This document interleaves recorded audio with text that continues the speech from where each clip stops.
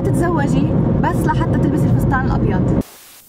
وما تتزوجي بس لحتى تهربي من قساوة تعامل بيت أهلك حدا من بيت أهلك والدك والدتك أخوتك معاكي ما تتزوجي أبدا شخص بس لأنك حبتيه.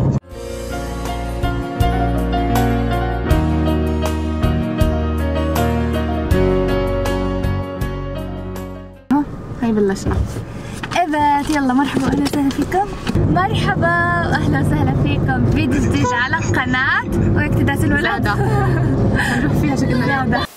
مرحبا يا جماعة كيفكم؟ أهلا وسهلا فيكم. فيديو جديد على قناتي زادة اليوم حبينا نصور لكم الفيديو. فلوج. نحكي بالموضوع وإحنا طالعين. مع أنا طالعه مع صاحبتي براءة هاي صاحبتي ما شاء الله من جوز 13 سنة. ما شاء الله. آه أيام مدرسة. قبل ما نبدأ هذا الفيديو ونحكي في الموضوع ما تنسوا تعملوا like و share subscribe للقناة. قناتي زادة وقناة أختي فطوم فطوم دبابنا. وما تنسونا تحت تشاركونا بالتعليقات شو رأيكم بالموضوع اللي رح نحكي فيه هلأ وهو مواصفات شريك رائعة يعني سلمي عليها آه مرحبا كيفكم؟ شو أخباركم؟ براءة طبعا صاحبتي ميك اب ارتست اروع ميك اب ارتست في الاردن هي اللي حياتي. مكيجتني وقت تخرجي يا يس. مكياجها بجنن ما شاء الله وفنانة حبيبتي المهم يا جماعة آه. نبدأ بالفيديو بسم الله قطعونيش بحدد الرسمي اصحك تدعسينا إيه، اعملي حاجة تدعسينا المهم يا جماعة هلا انت إيش بدك فيه خليه يحكي كيف بدنا إحنا نختار شريك الحياة وعلى أي أساس نختار شريك حياتنا. يعني كثير في بنات صراحة بيسألوا هذا السؤال وشباب كمان. كيف أنا ممكن أختار البنت المناسبة إلي أو كيف أنا ممكن أختار الشاب اللي أكمل معاه حياتي؟ أول شيء يا جماعة بدنا نراعي إنه يكون في قبول مبدئي بين الطرفين. هلا في شغلات بين الطرفين المفروض بس يقعدوا مع بعض يشوفوا قديش مدى وجودها وتوافقها. أول إشي التوافق. الثقافي. التوافق الاجتماعي. أكيد. التوافق القلبي أو الروحي والنفسي. هاي شغلات كتير مهمة. تخيلي مثلا انت تتزوجي بشاب أو تتزوج أنت ببنت ما يكون في توافق بالأفكار بينكم. تخيلوا قديش رح تنشأ نزاعات ما بينكم بالبيت. تخيلوا إنه تجيبوا أطفال وتضل هاي النزاعات موجودة. رح يخلق جو من التوتر والضغط النفسي بالبيت. ما رح ترتاحوا مع بعض. وبالاخر رح يؤدي للطلاق. الرسول صلى الله عليه وسلم حكى بحديثين عن اختيار الزوجة واختيار الزوج. أول إشي الرسول صلى الله عليه وسلم صار يحكي إنه فاظفر بذات الدين بعد عدة مواصفات. وحكى عن الشاب من جاءكم من ترضون دينه وخلقه فزوجوه صح؟ طيب. هل الدين والخلق معيار القبول فقط؟ أكيد لا. يعني الدين والخلق معيار المرور. خلينا نحكي اللي هو إنك تيجي على البيت تقبل بإنه هذا الشاب يتقدم لك آه، تقبلي تقعدي معه. لكن مش شرط يكون معيار القبول. يعني ممكن يكون دينه وخلقه أو دينها وخلقه بجننه. بس راحة نفسية ما ارتحت معه أو أنا ما ارتحت معها. أو مثلا ما في توافق أفكار. يعني في كتير شغلات غير الدين والخلق.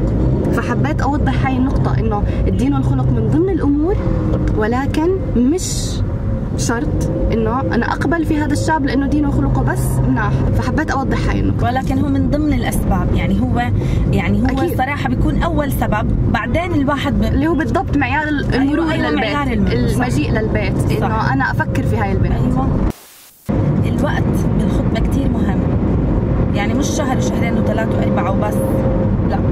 طبعا أنا بالنسبة لي آه أكيد يعني. يعني. قبل ما أحكي لكم العيوب إنه أنا بالنسبة لي كمان إنه فترة التعارف مفروض إنه تكون فترة كافية إنه يعرفوا بعض منيح يعرفوا مواصفات بعض عيوب بعض. في بعض الشخصيات يا جماعة عندها عيوب. لازم أنت تدرسي الموضوع منيح. إذا وجدت هاي العيوب في الشخص شريك حياتك أو وجدت في شريكة حياتك قبل ما يصير في زواج لازم أنت تنظر هل أنت بتقدر تتعايش معها ولا لا. أول عيب يا جماعة هو المستبد المتعالي. شو يعني مستبد متعالي؟ طبعا أنا بحكي عن رجل أو أنثى هو الشخص اللي ما بيرحم أهله. كيف ممكن أتعرف على هاي الصفة فيه؟ بتبين بفترة الخطوبة. إذا هو كيف بتعامل مع أهله؟ ما بيرحم أهله. آه، بتعامل معهم بشخصية كتير بشعة. ما في رحمة في قلبه قاسي على أهله. ما بيشارك غيره في اتخاذ القرار. هو بده يكون فقط متخذ القرار ما بياخذ وما بيعطي. ثالث شغلة إنه ما بيعترف بثقافة الاعتذار. ما عنده. أنا دائما الصح وإذا غلط مش مستعد إنه يعترف بغلط. ثاني صفة يا جماعة الشخص الأناني اللي بيسعى دائما فقط ليسعد نفسه. وحتى لو كان إسعاد نفسه على حساب إتعاس غيره. العيب الثالث يا جماعة الشخص السلبي الناقم. شو يعني؟ هذا الشخص حياته مرهقة. بشوف كل شيء سلبي في حياته ما عنده شيء إيجابي. دائما سلبي بيعطيك طاقة سلبية. مستحيل إنه يقدر أو يشوف مجهودك أو إيجابية أنت بتقدمها أو حتى إحسانك.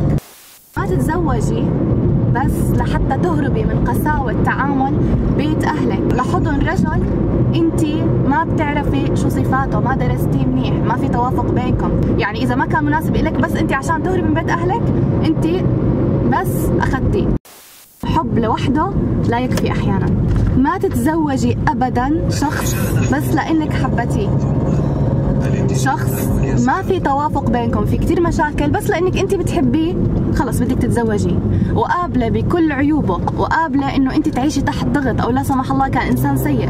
بس لأنك مجرد مشاعر جواتك وبتحبيه بدك تتزوجي. لحتى تعرفي معدن الشخص اللي أمامك أو لحتى تعرف معدن البنت اللي أمامك لازم تتطاوشوا أكيد رح يصير في أكيد حتتطاوشوا يعني مش طوش يعني إلا يصير في اختلاف أحيانا. بالآراء.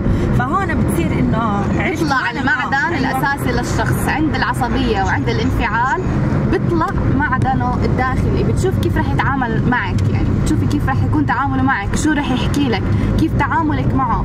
بعدين بصير في تجرد. يعني بالضبط. كل ما مرق وقت عليكم أنتم خاطبين بصير في تجرد. أكيد. فبتطلع ردة الفعل الحقيقية على طول. بالضبط.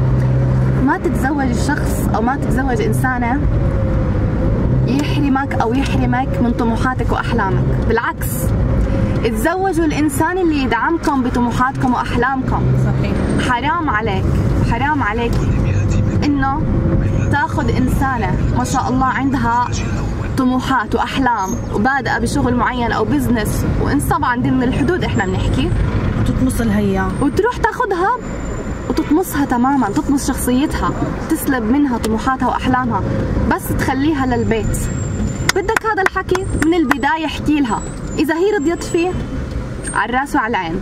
بس إذا هي ما بدها هيك حرام تفلمها بعد الخطبة وكتب الكتاب والزواج إنه أنت بدك تعمل فيها هيك. اختار الشخص اللي يجبر خاطرك اللي يجبر قلبك صح. اللي يدعمك اللي يحبك اللي يحن عليك. صح. الشخص اللي يحن عليك من جوا اللي يتمنى لك الخير زي ما بتمنى لإله ولأهله وأكتر. مش الشخص اللي بيغار منك مش الشخص صح. اللي بده يطمسك يطمس أحلامك. صح. في قصة كتير حلوة حابة أحكي لكم إياها. ل آه،. لأحد ملوك بريطانيا الأمير إدوارد الثامن. تخيلوا إنه صار عمره 43 سنة وما تزوج. ومع ذلك كان من أكثر الملوك أو الأمراء أقل حكما. يعني حكم بريطانيا أقل أقل فترات حكم من الملوك الآخرين. الملك إدوارد الثامن حبايبي. لما انسأل عن سبب عدم زواجه بهذيك الفترة كان صار يحكي إنه كل البنات حوالي جميلات، نساء كلهم بيحبوني، ولكنهم بيحبوني لإني أمير لمكانتي، ما بيحبوني لإني رجل ولا شخصي ولا نفسي، شخصيتي يعني.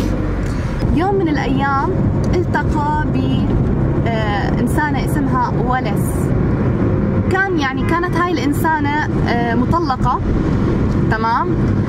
وكانت كتير تحضر معهم يعني بالعشوات الملكية يعني بمناسبات كتير كان يشوفها ويلتقي فيها. لكنها عمرها ما أشعرته إنه هو أمير وإشي كتير وإنه تعمل زي النساء الأخريات. بالعكس كان عندها عزة نفس لا توصف. كانت لما يكون موجود الأمير عادي تعامله زيه زي أي حدا. التفت لإلها حس فيها إشي غريب إشي جديد. وقع في حبها. لما اجى بده يتزوجها قالوا له إنه أنت يعني في قانون ببريطانيا يمنع زواج العائلة المالكة من, من المطلقات. العامة. آه المطلقات. من المطلقات. حلو. والله أبدعوا هاي العائله الصراحة. شفتي؟ آه. شوفوا كيف إنه رجعوا ورا إحساسهم وقلبهم يعني. بالضبط. ففي النهاية تزوج من ولس لأنه شعر معها برجولته أحبته مش لأنه أمير أو ملك. تنازل عن الحكم ولكنه عاش حياة بتجنن معها. خلص. هو اختار إنه يكون ملك في بيته مع زوجته ولا إنه يكون ملك آه، على شعبه. فاختار راحته النفسية اختار الإنسان اللي تفهمه وتحبه لشخصه ونفسه. طبعا الزمن يعيد نفسه مع الأمير هاري و وميغان نفس الشيء كانت يعني مطلقة وتزوجها لأنه لا بالآخر يا جماعة إنه هو ترك العائلة المالكة تماما لأجلها.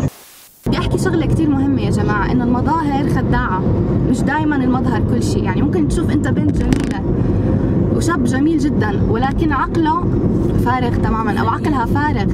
يعني آه، لما بدك تختار شريكة حياتك أو اختيارك لشريك حياتك انظروا مش بس للشكل الخارجي والجمال الخارجي شوفوا الجمال الداخلي العقلي المخزون الفكري عندهم كيف بيفكروا كيف بيتعاملوا بالمواقف آه، في كتير أمور وصفات أخرى المسؤولية. شوفوا مسؤوليتهم. في صفات وعيوب بالإنسان ما بقدر الشخص إنه آه، يتعامل معها أو يسيطر عليها. في طباع معينة ما بتتغير. بصراحة ما بينعاش معها. فأنتوا حاولوا قدر الإمكان إنه تكونوا ملمين ودارسين منيح شريك حياتكم قبل ما توقعوا بتجربة الزواج اللي ممكن لا سمح الله إنه تؤدي للانفصال بسبب هاي الأمور. طبعا إحنا هلأ بالمصعد طالعين على المول فوق. صح يا براءة؟ وقفي وجههم وجهك الحلو. في فتو فتو سماعات و انسوا تشيكن ودسول شوفوا لي هالبلوزة مع كمامة